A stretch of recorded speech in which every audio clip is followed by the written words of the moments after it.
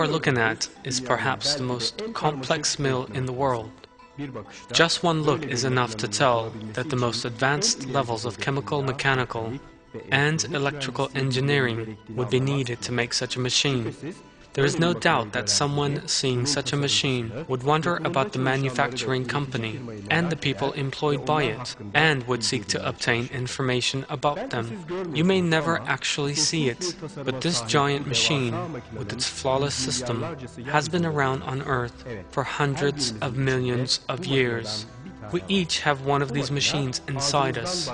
This machine, the digestive system, made up by organs that begin with our mouths and extend to our intestines, has been created with no earlier model to work from. Anyone possessed of reason and conscience will see the perfect features in this machine in the body and the flawless planning in its details.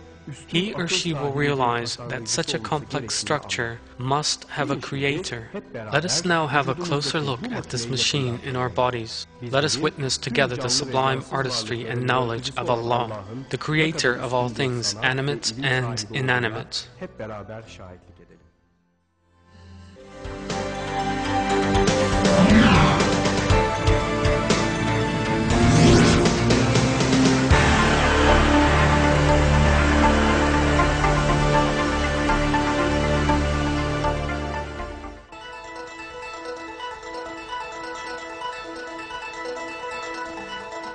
The beginning of the mill. In this compartment, substances that enter the machine are crushed, broken down, and softened.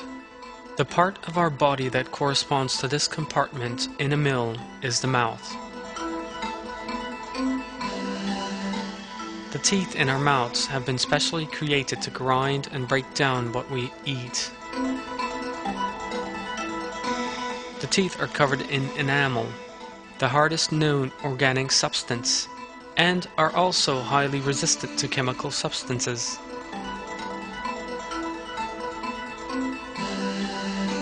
Every tooth is shaped according to its job.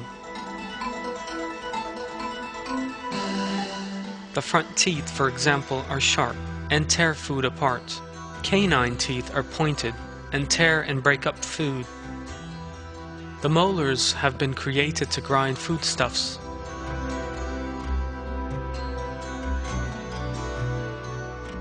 If the teeth in our mouths were all the same, if we had 32 canine teeth, or 32 incisors, for instance, eating would be just about impossible.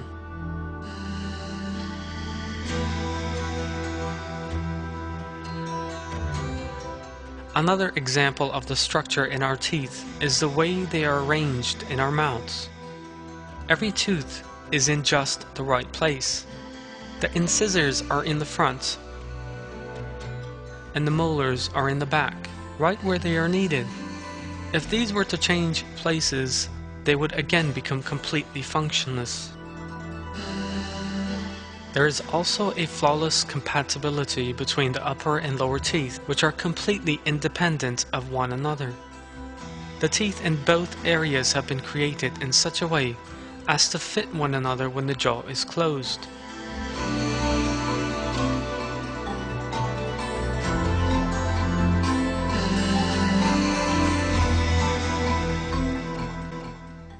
Details such as the resistant structure of teeth and their arrangement, shapes, and duties being in complete harmony shows the evident planning in them. There is only one reason for the conscious behavior exhibited by cells. Like all the cells in the body, it is Almighty Allah, the creator of all things, who gives the cells that make up our teeth the characteristics they possess. I seek refuge in Allah from the accursed Satan. He is Allah, the Creator, the Maker, the Giver of form. To Him belong the most beautiful names. Everything in the heavens and earth glorifies Him. He is the Almighty, the All-Wise.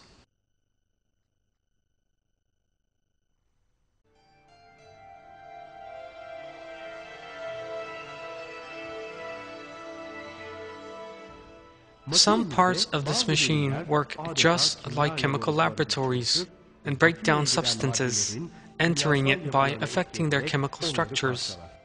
Just like in this machine, the food we eat is ground up by the teeth and also subjected to a chemical attack from the fluid known as saliva. People are unaware of this fluid in their mouths during the course of their day-to-day -day lives. They generally do not think about what is secreted, nor how much. In short, very little thought is given about any detail concerning the subject. Saliva, which many people imagine to be a simple secretion, actually contains many delicate balances and is a special mixture containing containing various chemical substances. First and foremost, this liquid allows us to taste the food we eat. Taste molecules in foodstuffs dissolve in saliva and combine with the ends of the taste receptor nerves in the tongue. Only in this way are we able to taste what we are eating. That is why food eaten with a dry mouth seems to have no taste at all. Two separate saliva fluids with different characteristics are secreted in the mouth. One of these breaks down carbohydrates very finely and partly converts them into sugar. Bread, for example, is a carbohydrate if you place a piece of bread in your mouth and keep it there for a few minutes without swallowing it, you will detect the sugary taste of the carbohydrate as it is broken down. The other saliva fluid has a very dense consistency. Thanks to this sticky fluid, food particles that spread all over the mouth as we eat are brought back together again.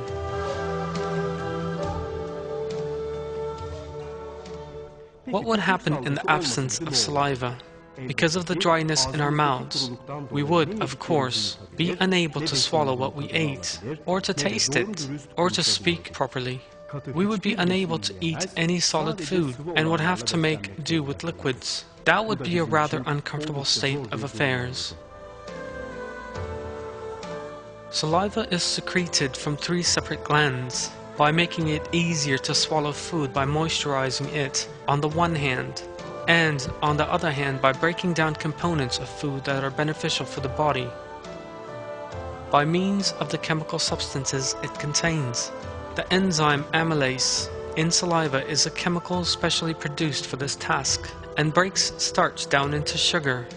The tongue also plays an important role in mechanical grinding not only does the tongue have a very sensitive taste measurement property, it also rolls food up in the mouth and thus facilitates its passage into the throat. There are some 10,000 taste buds on the surface and sides of the tongue. These are sensitive to four different tastes bitter, sweet, salty, and sour. These taste buds allow us to distinguish between the various foods we eat every day without ever confusing them to the extent that the tongue can even distinguish a taste it has never encountered before. Thus, we never perceive the taste of a cucumber as being bitter like that of a grapefruit, or imagine that a cake is salty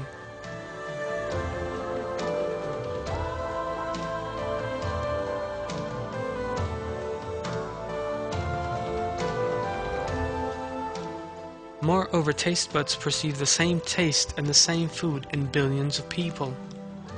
The concepts of sweet, salty, or sour are the same for everyone.